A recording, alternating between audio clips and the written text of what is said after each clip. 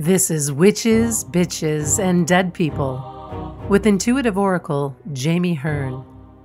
Jami stirs the cauldron with witches, shamans, healers, psychics, and mediums who bravely share their power and give you insight into what conversations with dead people really look like. It's probably not what you think. Sometimes hilarious, sometimes macabre, and always informative. Hello, and welcome back to Witches, Bitches, and Dead People. Today, I'm super excited to spend time with Katie Edwards Corbin. She is a soul sister who's on a mission to help people step into who they authentically are. And she's doing so with spirit. And it's just so exciting to, to witness and be in her space. Katie is a visionary. She's been an entrepreneur since childhood and started her first business at the age of 24. She leads and inspires individuals, groups, and businesses to reach their highest potential. She has worked with individuals and entrepreneurs all over the world, dug deep in their companies and their hearts to pull out their authentic leadership skills to make a greater impact and income. Thanks for coming on with me today, Katie. Yes, thank you, Jami. I'm glad to be here. Um, so when I first read your bio, I had this image of you in an archaeological dig setting, like excavating their businesses and their hearts. And I was just like, oh, yeah, she's totally done that. Maybe that's yeah. not what she's in this setting, but totally. yes, yes, for sure. so I pull a card before every one of our conversations. Where'd my card go? Oh, it's over here. And today I pulled from the Native Spirit deck and I got Walking in Beauty. I get this mm. card, you know, occasionally, but it's such a pretty card. Mm. And the meaning is that you emanate beauty inside and out, which is absolutely true. Um, but what does that card what does that bring up for you? I'll show you again. Yeah, like I guess I would say like even beauty for me would be like walking in light, right? Mm. Like walking the path of light, even if it feels dark at times, even oh, if yeah. you can't totally see at times, there's always beauty in in the walk, right? Like if we're able to actually like look at it. I love that because the journey really is the whole point. Like, sure, there may somewhere out there be a destination, but the journey is the whole reason we're here. So awesome. Yeah. um, so I want to invite grandma in. Um, okay. Normally, I ask people who their favorite witch, bitch, or dead people might be. And yeah um yeah grandma didn't even give me the opportunity to ask because she's like oh no there's no there's no question. I'm the favorite. Like yeah. That would be true. There's no one else. So tell us about your gram and and and who she was as a person. Yeah so my grandma was definitely a witch whether or not she would uh, have, you know, like totally resonated with the word, she even had like a witch cackle that she would emanate, you know, on Halloween. So she was the kind of like light for me as a kid when I have always been intuitive. I've always been uh, somewhat of a medium. I've always been in touch with the spirit world. And my grandma was the first one that said it was okay you know like this is this is okay it's not scary they're there they're um you know the spirit world's always available to us and she made it made it like not seem crazy basically. That's amazing because so many people don't have the gift of having a loved one be that supportive so that's it just covers me in goosebumps talking about her. Yes she's she's definitely te- like she was always gifted too. Um, my grandma was able to communicate. She was able to foresee things uh, before people died. Ultimately, mm. that I, I mean, it's just so telling to see who you are as a spiritual leader with the the background of having those gifts in your your generational story. So I, I'm happy to invite Grandma in to spend time with us today. Um, Yes. I know before we went on, I, I told you I'm like, yeah, I think she probably was here too, and you you, you said you had a similar feeling. So Yeah. I, I, pretty much knew we were going to talk, talk to her and talk about her. she gave And me the signal. yeah, she was like, oh, well, of course. Who else would you talk about first? Like, Yes. I love that. Um, so your spiritual journey started from a, a really young age, right? Yes. And how would you say that has played a role in who you've become? Yeah, so I always so being always connected to spirit, I could never totally choose like um a path in o- only like the third dimension, you know, like the third dimensional like numbers and all this science and Darwinism and all this stuff. Like I I really chose my career and my path based in spirit, right? Based in God. So I ultimately the connection for me early on allowed me to open that, right? Like not to make myself wrong for seeing, hearing, and knowing what I knew. And ultimately, it also, what I felt like brought more people in my life that were Mhm. also like that, right? Yeah. uh, You know, because it can be lonely sometimes when you're like the only one that can can see and hear. Oh, for sure.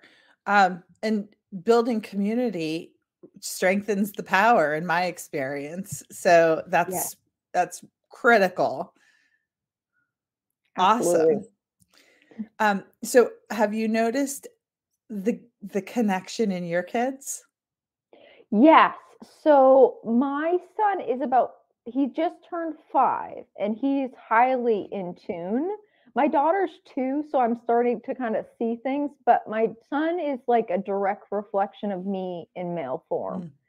So he is going through the things that I went through. Actually, when my grandma passed, uh, we took my son up in, I'm from upstate New York, and we took my son to the graveyard my grandma was going to be buried at. And he, you could just tell he could sense things, you know, like he Yeah. could sense, uh, i- it's not always spirits are hanging out in graveyards, obviously, but he could sense Right. like the the you know the the spirit world and he is very connected to that because my grandma used to actually as children she would take us to graveyards like for fun like I my grandma did the same thing, although she had probably different motivation. She was really into genealogy, and I was like, Yes. "Oh, this is so cool. I love the feeling and the energy of of being here."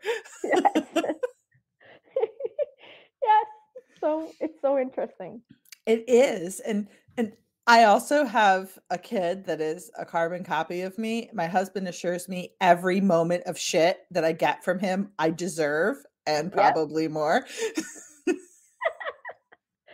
so good luck, Katie. yeah i got a while i got a long time of this they are gifts and beautiful mirrors. they are absolutely Well, I'd love to talk a little more about what you're doing in business because you're holding such a beautiful container for so many spiritual entrepreneurs. And I think it's just an amazing um, message that you have, and your impact is huge. So let's dive into that. yes i'd love to Who's your favorite client to work with? I mean, you don't have to tell us uh, your uh, client's identity, but like describe who your favorite client would be. Yeah. So my favorite clients that I've worked with and you know continue to work with would be um, spiritually gifted. Uh, also have the entrepreneurial spirit, right? So they're okay with making money. They're okay with really growing their their big vision, but they know that they have to have it aligned with their soul, like they won't they won't trade money for soul or soul for money money ultimately and they really want to make the impact at that level themselves on the clients that they are working with. So you're saying you don't work with lawyers? Yeah. Only spiritual lawyers right? I call myself a recovering lawyer. Right. Yes recovering lawyers. That's funny. That's awesome. And I feel like your clients, at least from from what I have seen, have let go of all the victimhood that we see so much in a lot of spiritual entrepreneurs and they're like all right here's here's what needs to be done i'm going to do it yes absolutely the victimhood right like around money like i you know i can't have too much money i can't make money money doesn't like me um really that's all false right that actually creates more of a, a victim around our circumstances and really uh, standing more in a spiritually empowered place that you don't have to be less spiritual to make more money you can actually be both you could authentically be you in your spiritual gifts and also make a great living and you know a great vision for your future without having to trade the latter. Awesome and that's really an empowering perspective that not a lot of mentors are teaching. Yes. And it's a so, fun perspective because eh, for me it's like i wouldn't i i wouldn't be able to eh, eh, align with anything different in my heart so i don't expect other you know the people that come to me i, I would expect them to have that intent too as well. Right. Uh, I, and i think that it's really just demonstrates your capacity to connect with people outside the 3d human experience. Like that higher self to higher self connection is what really is calling those people into you Yes. Yeah. Awesome. so it, I, I get so caught up in my own 3D experience that sometimes I don't pay attention to that higher self. And then, you know, they like trip you on the last step or something. And they're like, see, you should have listened. yes, absolutely. And I've had that experience myself too, as well. And I think, you know, we even though we want to be like, oh, now I've learned from it, it's still we're still very human, right? We still get caught in, you know, the third dimensional reality. We're like, oh yeah, that's what that was for, you know, the third time in the row. So um the humanness is always still there, I feel like in, in my journey, anyways. Yeah, absolutely. I mean, I guess that's why we're in this incarnation on earth because we're still working still, through the, through the human thing. Absolutely. yeah. The humanness, right, in us. So, what's a, a trick or tip that you might have when somebody is bumping up against a limiting belief, like let's say around their ability to charge what they're truly worth for their spiritual gifts, but they can't articulate that belief? Yes. So, usually, my Uh, my question so it would start with like a question like what's underneath that? Like, like what's underneath the reason that you can't you think you can't charge more? Well i don't think people are going to pay that. Well what's underneath that? Well i don't really think i'm deserving of that or people won't like me right? And like even like you can go below the the the analytical right? Because our analytical mind's going to go well i can't charge that much for X, you know, your your service or your program or your, you know, whatever your offering is, usually there's something underneath that that's not really logical. It's more of a feeling, emotion, or belief that's subconscious somewhere imprinted. And that's actually what usually holds us back. It's not really the logical steps to get there, it's usually the subconscious belief. So I usually begin the question uh, with a question, right? What's actually below that that people can um, help to rise up for awareness. And that actually really, in my experience, shows who's ready to do the work. Yes. Because the people who go, I don't know, like they're not ready, they're not there. And, and it annoys the shit out of me. yes, it, it also annoys me at times too, where you're like, just say it, you know, but that's the willingness, right? I feel like the question allows people, instead of us telling them, the question makes it like, okay, are you willing or not to see this? And if they're willing to see it, then great. If they're not, then then they're essentially not. Right. And it's just not their season to work with us, perhaps. Yes. Um, for my own journey, that's been one of the most empowering steps that I've taken is to say, we're not a good match. And I've had to do that in both my law practice and my coaching practice. Honestly, it's way more fun in the law practice though, because people think they're like entitled to attorney services. Yeah. I told one client came in, I said, take your shit, get the fuck out. And my secretary was like, Did you really just say that? I was like, Yep. and I love that. That's awesome. I haven't had to be that brash with any of my spiritual clients yet, but eh, you never know. There's always room for it, right? if we're if we're if we're you know if that's supposed to happen, right? If that's what eh, you know part of our journey that we have to you know have that conversation, then sometimes it's just I feel like it's a one time thing, and then it's you know it's complete or something, right?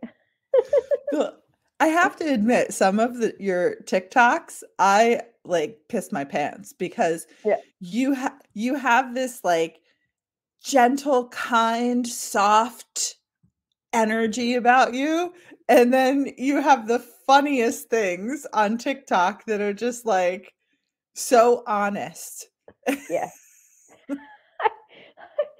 I will say I'm brutally honest um it, it, it almost to like a fault sometimes. I actually don't really have a capacity to lie. I've never i've really never been able to that, do that. That's part of my i think that's just part of my inner i have the strong sagittarius energy. So it's part of my inner being that i i really if i don't want to be in a situation you'll you'll actually know i i can't hold it i can't hold it back you're probably going to get that back in your son also. I, I will. I know. I'm, I'm, I'm due for it. My, my kids will lie to me, and my older son will go, dude, why are you even bothering? She's going to know anyway. Yes. yes. The, the fun of being a, a spiritually connected mom, right? I, don't, I already know, so you don't have to lie. I actually used to try to lie to my mom when I was young. This is my my grandma is actually my mom's mom, so my mom is also highly intuitive. I uh, not as much as my grandmother, but I would try to lie to my mom, and she would just immediately know, and yeah. I would just be like, "Oh, why why am I even why am I even trying?" Because exactly. Might as well tell the truth because the truth always gets revealed anyways. Yes, it does.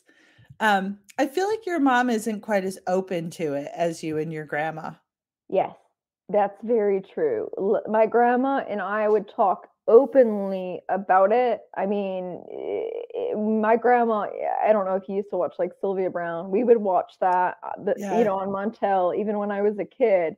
We'd read books on it. We'd talk about it. We'd go to um, classes on it. Like even at the community college, my grandma would go in at 80 years old, the oldest person in the community college class, and she would take an angel, you know, spirit guide class. She would she would actually it. participate, and she loved to do it because it wasn't really available to her when she was a kid. Right. Well, yeah, because she was growing up in that like probably post war or maybe yep. even during World War II, like the cookie cutter, what do they call them? Stepford wives? Like, yeah, I, I wouldn't have fit in really well then. Me either, and neither did she, right? Like neither would she. She was actually um she was born in 1927, I believe. So she lived to be 98 years old. Oh, amazing she almost lived an entire century you know, so Yeah, so she saw a lot. she saw a lot. Like the just to think about the the shift in her three-dimensional experience from 1927, probably not even having electricity in the house, prob maybe not plumbing, eh, Yes. to the to the internet. Like what? Yeah.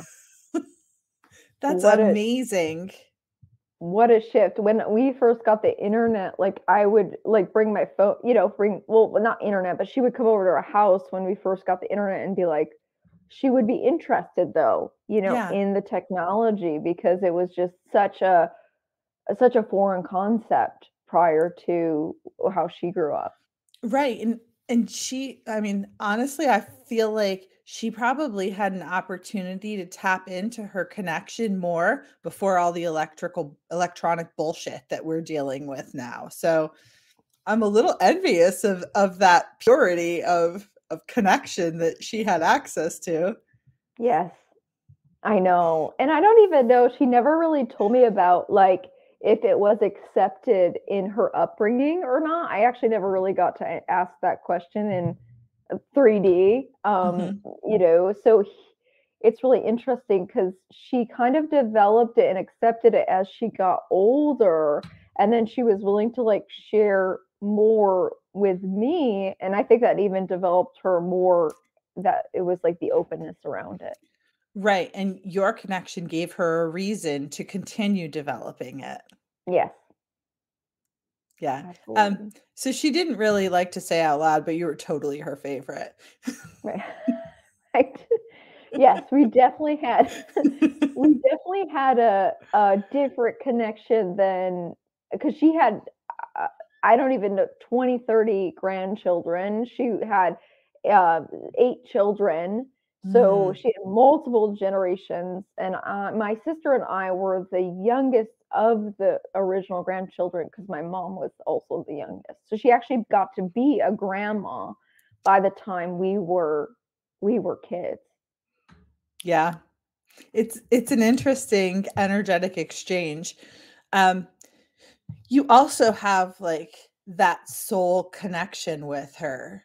Yeah. At least that's the feeling that I get from from her that when you were born, she recognized in you uh, experiences she had had in other lifetimes and she was like took you long enough where you been Yes. yes, where have you been? I've been here the whole time. She's like, no, we did this shit in France. Yeah. we should totally tap in with her one day and, and see what kind of cool stuff she has to share. Um, because she really is magic. And I mean, when I first asked you to chat with me, I had no idea she was going to show up here today and be like, Yeah. I'm going to hijack the show. Hope you guys are okay with that. She she would do that. she's so cute. yeah. Um, so is she saying a word that I I don't know if it's intended for me to understand it or whether it means something for you, but um is she saying the word pritneer? Hmm. Like, do you know that word? Mm-mm. It's kind of a colloquial word that like like that southern tier of New of New York, northern Yeah. tier of Pennsylvania use, but it means like almost there. Ah. Um, so I don't know why she's saying that, but it's it's kind of cute that she's saying, and it could totally be for me because I had a great grandmother that used to use that word a lot. So could be for could be Oh. for me too. So thanks for that. Yeah. Um, So I don't want to overlook the really cool gift you brought for our audience members too. So can you tell us a little bit about that? Yeah, so I created a quiz called the Leadership Element Quiz. Um, and it basically brings out the strengths of leadership um, based on elements. So, wood, fire, earth, metal, water. Um, and it really allows people, it's really easy two minute quiz that allows you to look at what element is strongest for you and then how to like almost like see the element, bring that awareness so you have uh, an awareness of more of your strengths in in your leadership. I love that. So, do you utilize all the elements in your work you do with clients? Yes. So I do. So elements often. So I'm uh, traditional Chinese medicine practitioner by trade. That was my first, my entire first career, uh, and I really, I, I value the elements of the earth, right? And they're actually like inside of us. So if you have like a lot of fire, like this is just my personality too. If you're really fiery, really passionate, sometimes things will kind of balance you out too as well, where you'll have to, you know, take a bath or go to the ocean to get perspective. So if you have an idea of what element is um, most prominent, you actually can use alternative elements to kind of bring you into a state of nervous system balance, which is really essential for for everyone and also people in positions of leadership. Awesome. I never really took the time to stop and think about what element really is prevalent for me. I mean, if I had to guess, I would guess fire, but I would guess too. I don't know why, but I just get that. hmm, I don't know. Um, but that's a really interesting idea to find that balance. Um, I have always been attracted to water, not so much the ocean. I hate the feeling of sand on my feet, but whatever. Mm. but like, I have a pond on my property and we have a, a running stream on the property and the our family farm we have both uh, there also so those have always been really important to me interesting i love yeah. that yeah, it would make sense, right? Because if you think about the element of fire, like doing high achiever, you know, uh, like really liking fast movement, uh, it, and water gives you a sense of reflection. So it's actually in a, the the balancer of of fire. Mm. So it's it's nice to to know that, right? So the awareness is the bringer, uh, allowing you to see that that is actually very potent for you. That's super powerful. So I would recommend everybody who is either looking to upgrade their leadership or stepping into a role of leadership, go check out Katie's quiz because that's going to be nothing but helpful to you. Yeah. Um so do you want to hear my embarrassing story about Chinese medicine and acupuncture? Absolutely. Of course I do. so Dr. G is doing energetic acupuncture on me, talking to me about uh, about liver points and liver chi. And the whole time I'm thinking. Liver cheese? That is so fucking gross. Like, what could that be? And she's like, no, it's chi, not cheese. that is really funny. He's a little bit more essential, right? Like the cheese and far more appealing. Yes, absolutely. we like that a little better.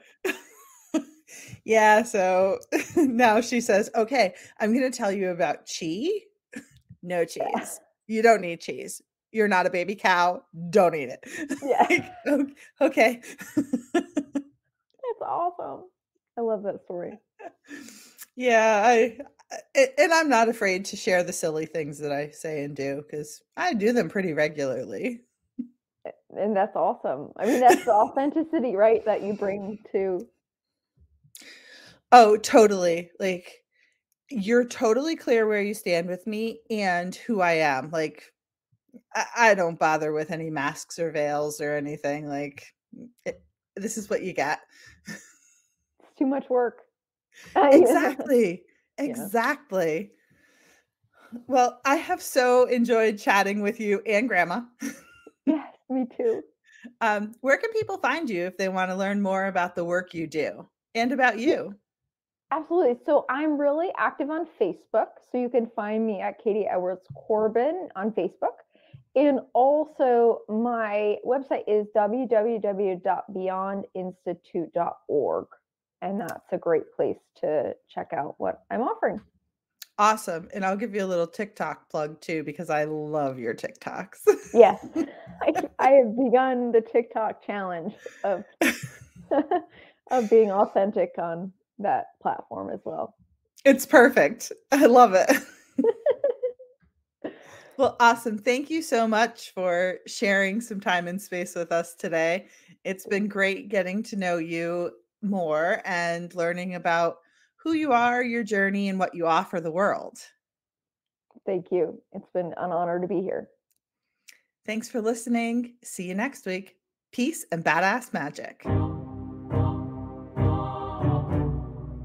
Thank you for listening to Witches, Bitches, and Dead People with Jami Hearn. If you like what you heard, please subscribe, rate, and review at Apple Podcasts or wherever you listen in.